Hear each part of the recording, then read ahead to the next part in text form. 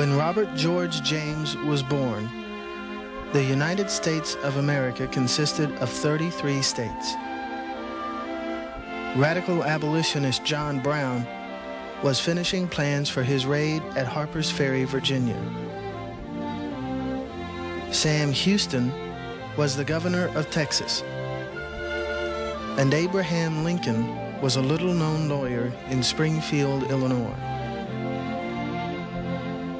In the course of Robert's life, he would witness the introduction of electric power, the automobile, telephone, airplane, radio, and motion pictures. He would survive one of the greatest natural disasters in history, and he would see the world go to war twice.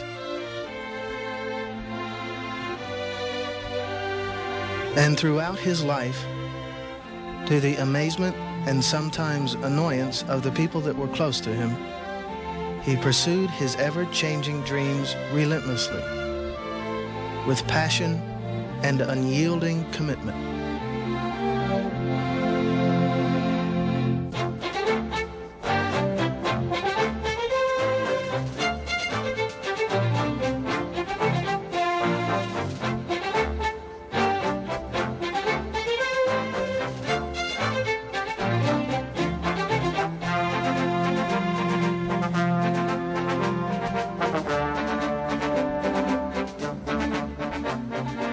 Robert George James was born on September 8, 1859 in Chedworth, England.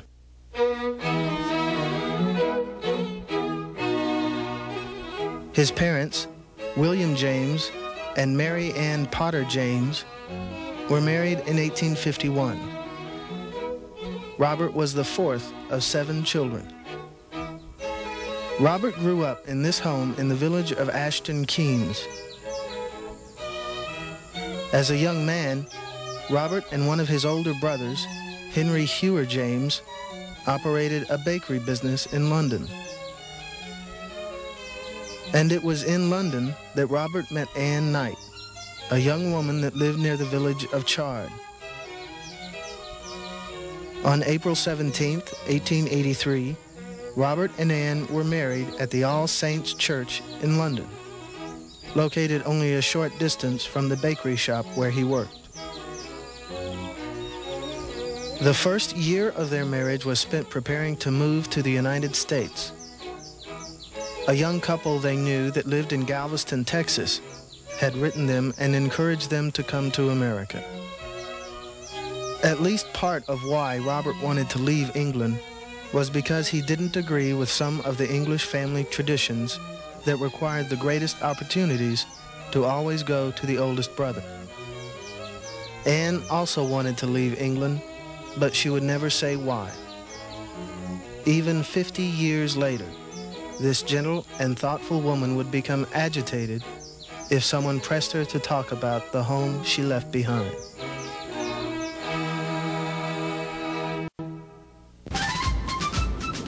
The voyage from England to New York took three weeks.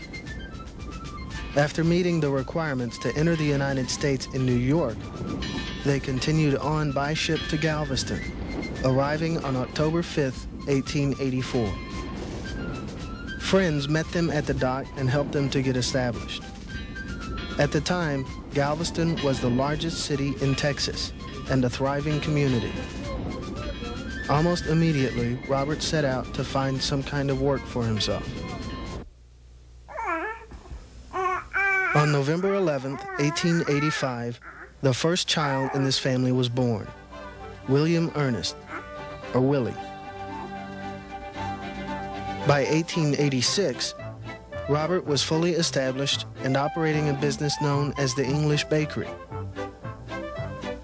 On November 1st of 1886, Robert applied for citizenship and was confirmed on April 23, 1890. During the period of 1887 to 1890, three more children were born to the James family. Helen, known as Nellie, was born on January 26, 1887. George Samuel was born on September 10, 1888. And Robert George Jr. was born on October 15, 1889. The first great loss to come into the lives of Robert and Ann was the death of Robert Jr., who died just nine months after he was born. The child was buried at the city cemetery of Galveston on July 15, 1890.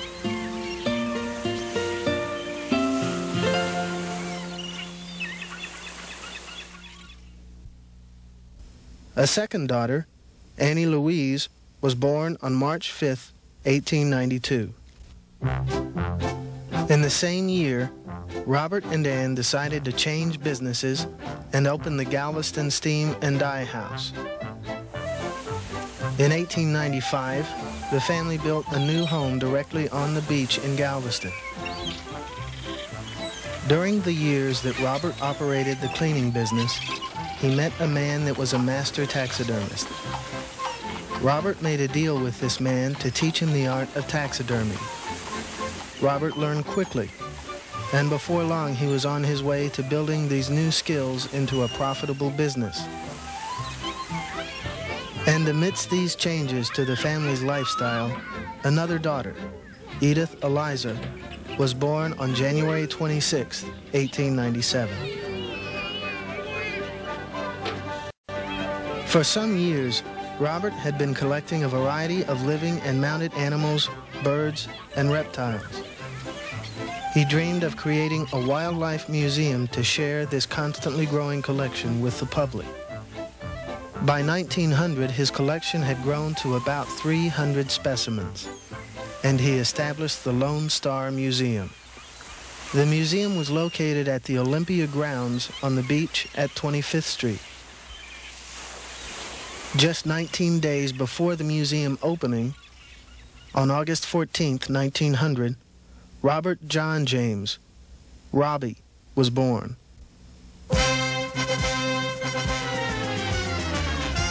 The museum first opened its doors to the public on September 3rd. Along with the displays of live and mounted animals, Robert had created an underwater diving act which he performed each evening. Everything was going well for the James family. Six children, a home on the beach, and Robert was realizing his dream of being in show business. But five days after the grand opening of the museum, on Robert's 41st birthday, everything changed.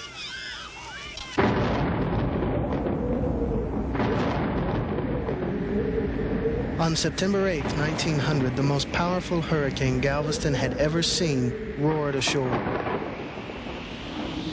The family quickly realized that their beachfront home would not provide adequate shelter from the raging storm and decided to go to a school at the center of town. Robert tied the children to him and Ann carried the baby.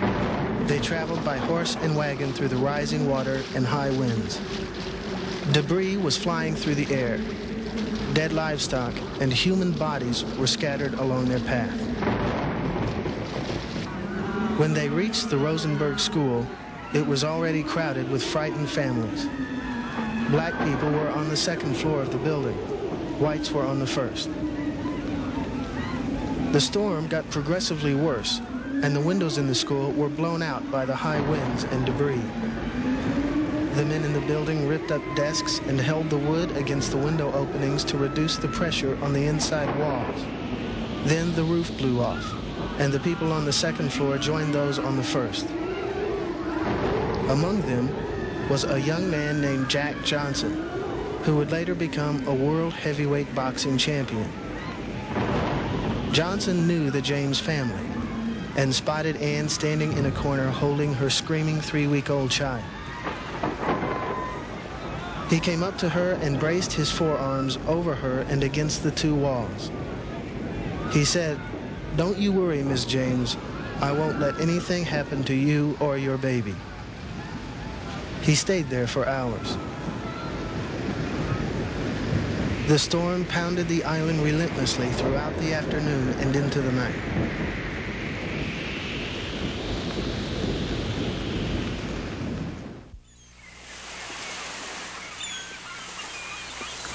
And in the morning, it was over.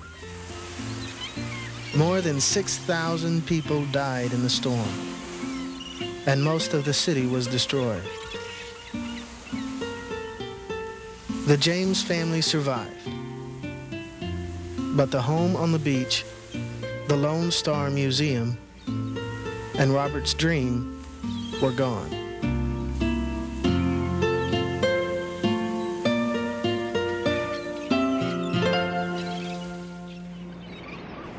The family continued to live in Galveston for over a year and a half after the storm, but it is unclear where they lived. There was never any mention of damage to the cleaning business, and it is possible that they lived there during this time. In the latter part of 1901, the family moved to Houston for a fresh start. To be sure of certain support for the family, Robert opened a new cleaning and pressing business at the corner of McKinney and Main Street downtown. He also started advertising taxidermy services again, always with the idea of opening another museum. The family lived in the same building as the shop up until 1906. On January 25th of 1904, Mildred Lillian, nicknamed Tootsie, was born bringing the total number of children in the family to seven. In 1906, the family moved to a new home at 2105 Houston Avenue. Robert again started collecting all kinds of mounted animals and birds, along with living snakes of all kinds. His dream of a museum once again seemed hopeful.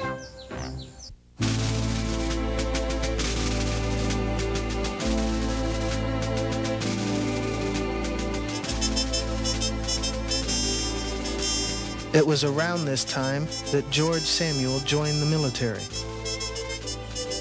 Young Robbie faintly remembered George coming to his bedside to say goodbye. Moving was a great part of the James family's life. In 1907, the family moved to number 12 Payne Street, a home located very close to Woodland City Park.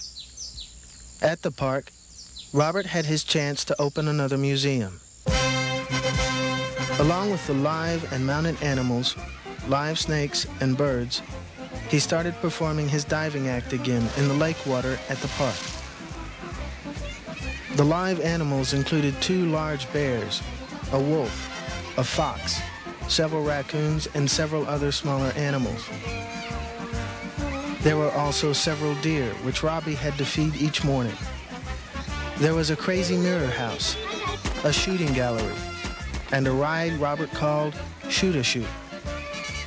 It consisted of a sled built like a boat which would slide down wooden rails and into the lake.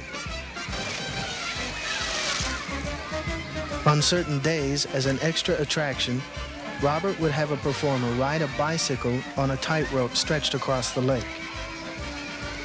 The rider would then set himself on fire and jump off into the water below. In the evenings, Annie would run a Victor talking machine very loud to attract business. And if ticket sales were slow, Robert would get into the bear cage and wrestle with the bears to attract attention. The park operations were very profitable, and Robert was ready to move on and open up his own park.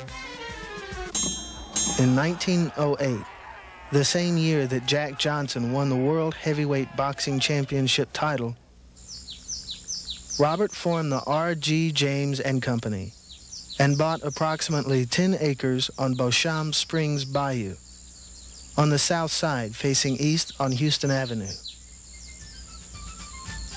He moved the museum and other attractions to the new location and opened the Beauchamp Springs Temperance Park. He called it Temperance Park because no alcohol was served here. The city park served beer, and Robert had always objected to that. He did drink beer, beer that he brewed himself, but only one glass, and only at dinner. The expense and time involved in moving the park created a financial strain on the family, and the park wasn't drawing in many customers. Eventually, since the land was purchased on credit, the whole operation was lost.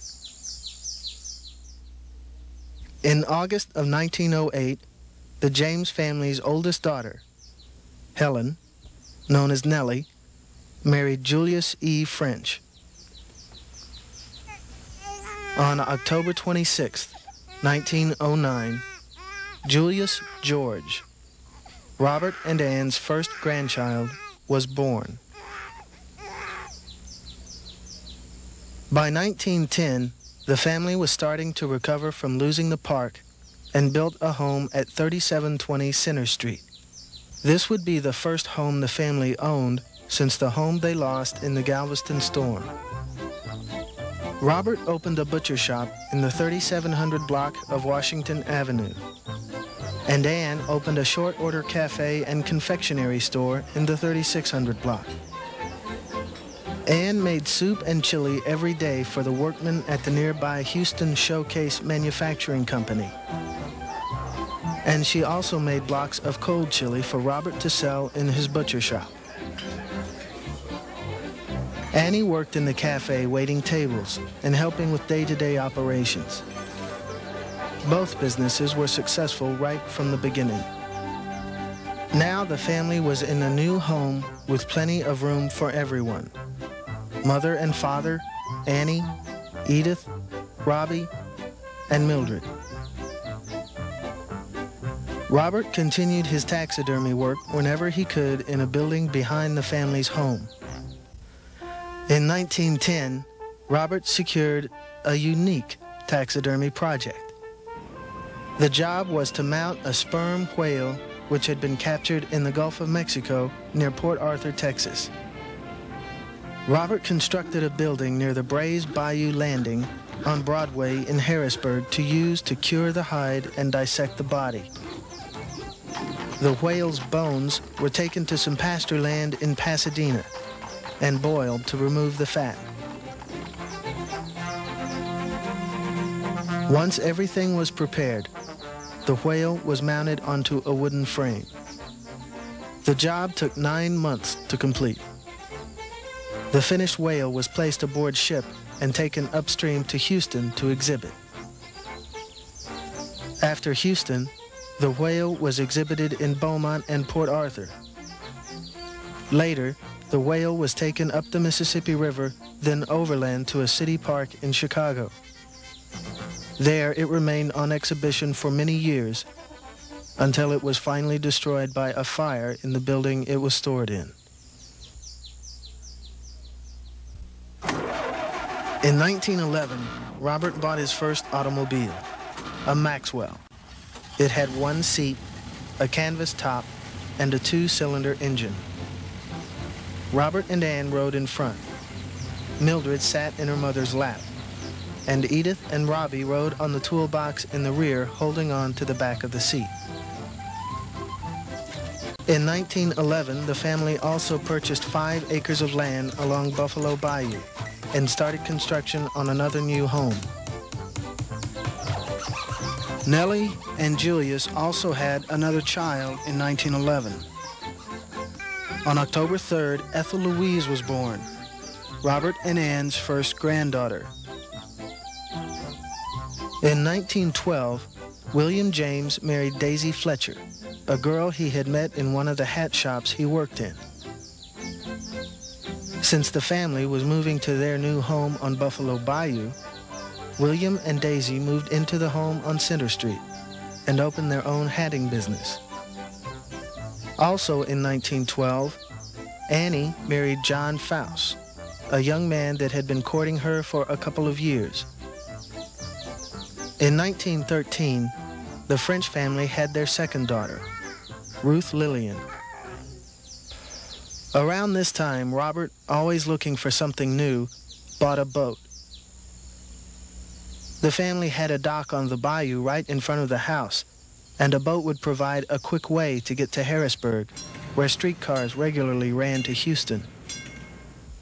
Also in 1913, Robert and Ann opened another short order meals and confectionery operation, located at the north end of the bridge over Brays Bayou on Broadway. The boat, called Tootsie, named after Mildred, turned out to be the perfect way to get to and from the new business, a distance of about seven miles. Buffalo Bayou was now fast becoming the Houston Ship Channel. Dredges were working all along the bayou to clear a deeper path for larger ships. In 1914, Robert decided to buy a houseboat from a group of cavalry officers. The boat had complete living quarters and was double-decked with ample room for the family. The rear of the boat, which was originally designed for the cavalry horses, was where Robert set up his taxidermy shop. A short time before moving the family aboard, Robert and Bob spent some time alone on the boat near Lynchburg, where they fished and relaxed. Bob later described this time as an experience they both loved. The boat was docked along Buffalo Bayou just south of Brady Island. But by early 1915, Robert decided that living on a boat wasn't such a good idea after all. He came up with a plan to move the houseboat on rollers to a lot he had purchased on Broadway near LaPorte Road. There, the houseboat was remodeled into two homes, the larger one for the family and a smaller one at the rear of the lot as a rent house. In 1915, three more grandchildren were born. Leonard Ernest James, James Bernard Faust, and Robert Earl James. In 1917, Oscar Henry James was born.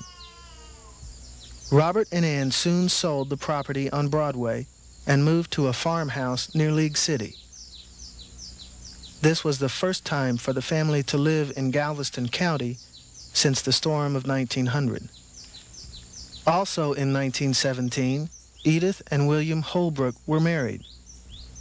Bob James was working at the Harrisburg Bank, and Mildred was the only child still living at home. Robert and Ann were now starting to be known as Grandpa and Grandma James. Grandpa was beginning to think about retirement, but he did continue his taxidermy work. In 1919, on June 10th, daughter Annie and her husband John brought into this world a lovely daughter named Dorothy. But Annie was very ill and five days after Dorothy was born, Annie died.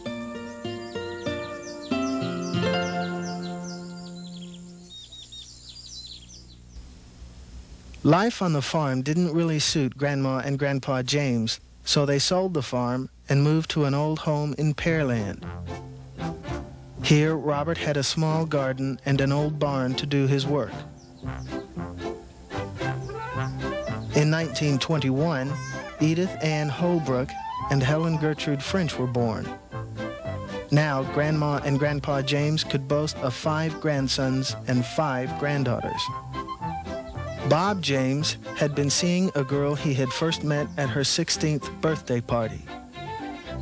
Her name was Mary Agnes Schultz. After four years of courtship, on July 11, 1922, they were married at the Holy Cross Episcopal Church of Harrisburg.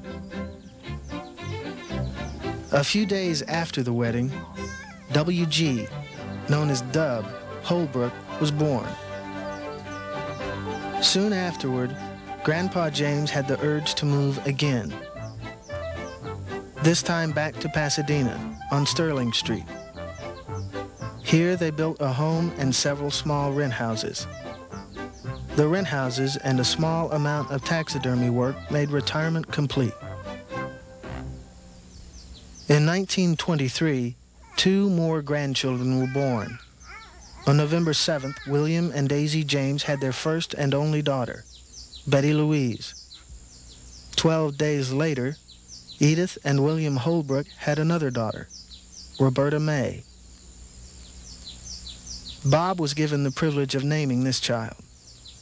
Roberta for himself, and May, the pet name he had for Mary Agnes. In 1926, Franklin Marvin Holbrook was born, and Mildred James married Ralph Blakesley, a longtime Pasadena resident. But 1926 also brought great sorrow to the James family. On December 22nd, Helen James French passed away.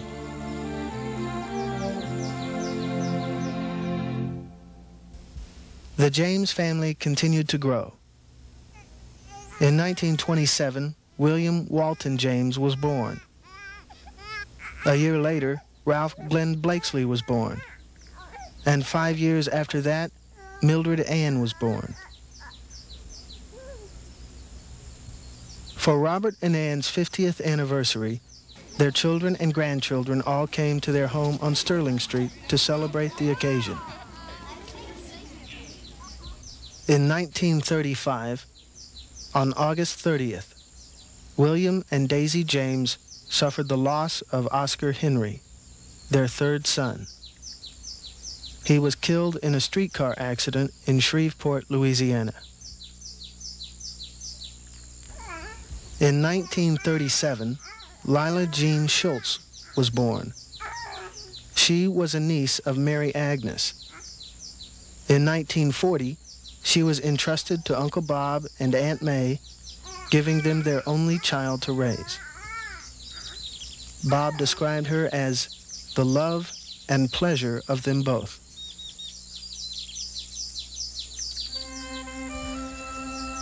In 1940, Grandma and Grandpa James celebrated their 57th wedding anniversary.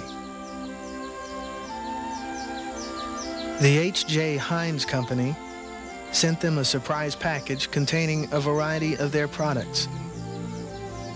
Not long after the anniversary, Robert started having trouble with his health and was ill a great deal of the time for the next two years.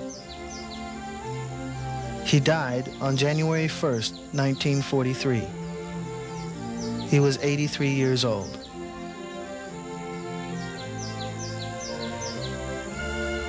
Shortly after Robert's death, Anne moved to a home on South Randall Street in Pasadena. She lived alone and did all of her own housekeeping, and she had regular visits from her children and grandchildren. But she missed her husband terribly. She passed away on January 1st, 1948, exactly five years after the death of her husband. She was 84 years old. She was survived by two daughters, two sons, 16 grandchildren, and 21 great-grandchildren. In 1980, Robert John James wrote a history of his parents' life, which was read by Julius George French at a family reunion the same year. This presentation was based almost entirely on that document. Uncle Bob often said, you can do anything you want to do if you want to do it bad enough. Looking back on his parents' life, it is easy to understand why it was so important to him that people believe anything is possible.